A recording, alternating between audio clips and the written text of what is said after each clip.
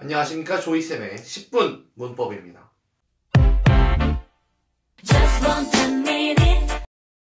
자 오늘은 준동사의 마지막 파트 분사입니다. 분사. 어, 분사에 대해서 10분 안에 정리해 드릴 건데요. 첫 번째는 분사의 쓰임, 두 번째는 분사 동명사의 차이, 세 번째는 분사 구문 이렇게 10분 안에 정리해 보도록 하겠습니다. 지금 시작합니다.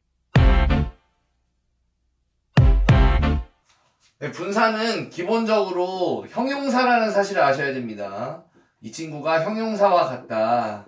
형용사와 같다는 사실을 아셔야 되고 이 친구가 형용사와 같기 때문에 쓰임도 두 가지 형태로 나눠질 수 있습니다. 쓰임도 두 가지. 첫 번째는 수식. 이거 우리나라 말로는 꾸며준다고 하는 거죠. 꾸며줌.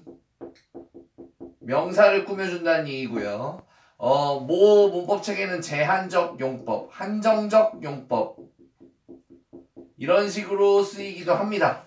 그래서 마, 어, look at the tall boy 하는 것처럼 톨을 쓸수 있는 것처럼 톨을 쓸수 있는 것처럼 우리는 요 자리에 ing인 running 달리는 소년을 봐라 아니면은 어, 상처당한 사, 소년을 봐라 hurt hurt의 pp는 hurt니까요 이런 식으로 쓸 수 있다는 겁니다 빨간색이 분사예요 어, 아니면은 어, 설명 명사를 설명하는 역할을 할 때가 있는데요 이거를 어떤 책에는 이제 보어라고 나와 있기도 하고요.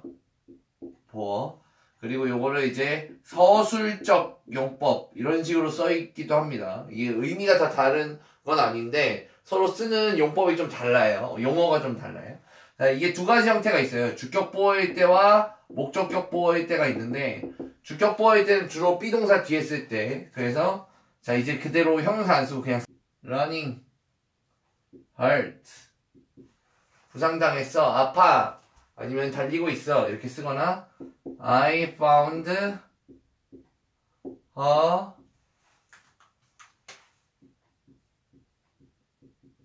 running hurt 이런 식으로 어, 해- 어, 분사의 쓰임. 분사의 쓰임은 수식하거나 설명하거나.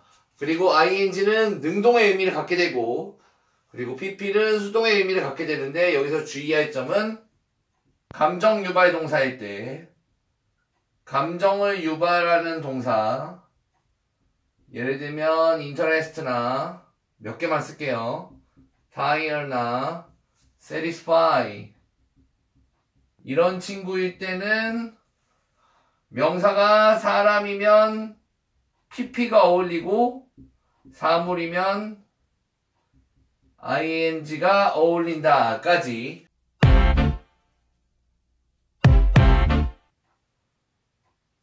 네, 보통 현재 분사와 동명사를 비교하는 문제를 많이 내는데요. 보통 미추치 ing가 뭐로 쓰인 거냐, 쓰임이 다른 걸 걸- 골라라 하는데 공통점은 둘 다 ing라는 점이죠. 둘 다 ing라는 점인데 첫 번째는 어떻게 나올 때가 있냐면 이렇게 나올 때가 있습니다. ing와 명사 이렇게 붙여놓을 때 ing와 명사를 붙여놓을 때 예를 들면 현재 분사일 때는 캠핑 칠드런일 때 와. 캠핑카. 어, 이런 예를 들어봤을 때, 이 앞에 있는 ing가, 어, 이 아이의 실제 행동, 동작이면은 현재 분사고요. 그리고 지, ing가 용도나 목적이면은 동명사입니다.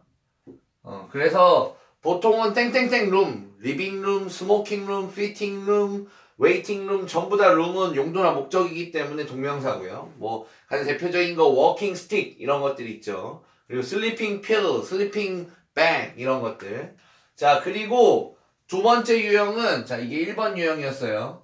2번 유형은 be동사 뒤에 ing를 주는 겁니다. 보통 이제 is나 was겠죠. 요걸 주는 경우가 있는데요. 어, 이것도 마찬가지로, 자, 이 부분이 어떻게 나오냐면, 뭐뭐 하는 중, 뭐뭐 하고 있다. 이런 식으로, 현재 진행형, 과거 진행형일 수도 있겠죠. 진행형의 형태로 해석이 되면은 현재 분사. 여기가 하는 것, 뭐뭐 하기, 이런 식으로 해석되면은 동명사가 되겠습니다. 간단하죠? 그 다음에 마지막으로 문두에, 그러니까 맨 앞에 ing로 출발하고 기타 등등 문장이 나오는 경우 문두 문장 머리라는 뜻입니다.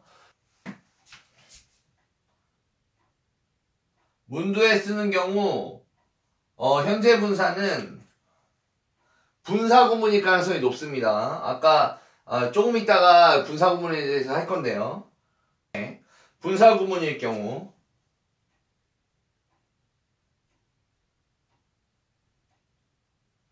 분사 구문일 경우인데요. 보통 하면서로 해석되고 여기 보면은 컴마가 찍히고 다른 주어 동사가 다시 나옵니다. 분사 구문일 때는.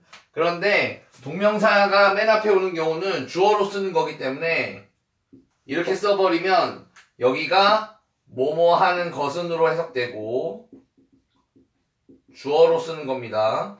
그리고 바로 뒤에 동사가 따라와야 됩니다. 단수 동사가. 그래서 현재 분사 동명사의 차이를 구분해 보여드렸는데요. 자, 분사에서 마지막으로 분사 구문입니다. 분사 구문은 한마디로 뭐냐면 별다줄, 별걸 다 줄이네. 네. 영어에서도 말 줄이기가 있습니다. 그래서 말을 줄여 쓰는 건데, 어, 요 부분, 요 부분 보이시죠? 요 부분. 접속사, 주어, 동사 부분. 이 부분을 우리가 부사구, 부사구, 아, 부사절이라고 부르는데요. 이거를 분사구로 바꿔내는 겁니다. 작업은 아주 간단합니다. 이 중3 과정까지 한 번에 설명할 건데, 첫 번째, 접속사를 아웃시킵니다. 접속사를 아웃시켜서 as를 날려주는 겁니다. 이렇게. 자, 두 번째, 같은 주어를 아웃시킵니다. 같은 주어. 지금 aim이랑 she랑 같은 것 같죠? 그래서 she를 날려주시고 그 다음에 세 번째 동사에다가 ing를 줍니다. 작년에 워징이랑 소윙 쓴 친구가 있었어요. 그러면 안 되겠죠. 원형으로 바꿔서 ing 주는 겁니다. 이 친구가 being이 되고요. 마지막으로 네 번째 여기가 끝입니다. Being은 생략 가능하다. 근데 줄여 쓰는 것이기 때문에 웬만하면 생략하시는 게 좋습니다.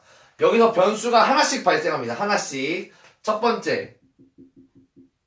의미 강화를 원하시면 그러니까 여기서 빙이 빠질 수 있다는 거고요. 의미 강화를 원하시면은 접속사 인 가능합니다. 넣어도 된다. 특히 이제 올도 같은 거 비록 뭐뭐일지라도 같은 거는 주로 넣습니다. 그 다음에 같은 주어가 아닐 경우 지금은 A이랑 C가 같은 사람인데 아닐 경우는 다른 주어는 빼면 안 됩니다. 다른 주어는 들어오셔야 됩니다.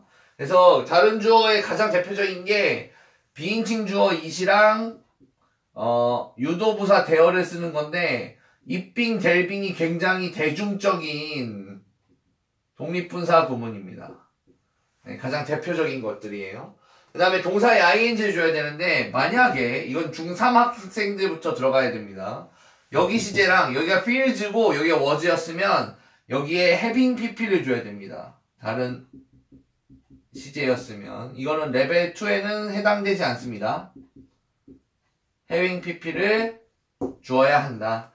마지막으로 만약에 비동사가 같은 시제였으면 being이지만 다른 시제였으면 having been이 되겠죠.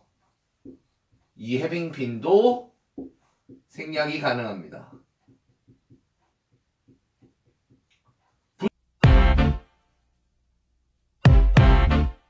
분사의 쓰임, 명사에 꾸며주기도 하고 설명하기도 합니다. 그래서 명사 앞에서 설명하기도 하고 ing랑 pp가 길어지면 뒤쪽으로 빠지기도 합니다. 그리고 보어일 때는 비동사 뒤, 주격 보어일 때는 비동사 뒤에 쓰기도 하고 목적격 보어일 때는 어, 동사, 명사, 형용사 자리 요 자리에 쓰이기도 합니다. 그리고 감정 유발 동사일 때는 각별한 주의가 필요합니다. 그러면 동명사와 비교를 해보겠습니다. 잠깐 정리해보면 현재 분사 동명사 세 가지 유형이 있습니다. ing 명사 쓸 때, be 플러스 ing 쓸 때, ing 맨 앞으로 끌어낼 때. 그래서 ing 명사 쓸 때는 행동 동작을 나타내면 현재 분사, 용도나 목적을 나타내면 동명사, 그리고 be동사 뒤에 있을 때는 뭐뭐 하는 중, 뭐뭐 하고 있다 이렇게 진행형으로 해석되면 현재 분사, 그리고 뭐뭐 하는 것 하기 이런 식으로 be동사 뒤에서 하는 것으로 해석되면 동명사. 그리고 맨 앞으로 끌어냈을 때 분사 구문이 되면서 컴마 주어 동사가 쓰이게 되면은 현재 분사. 그리고 맨 앞에 썼을 때 뭐뭐 하는 것으로 해석되면서 동사 단수 동사가 따라가면은 동명사입니다. 분사 구문 어렵게 생각하지 마시고 아주 간단합니다.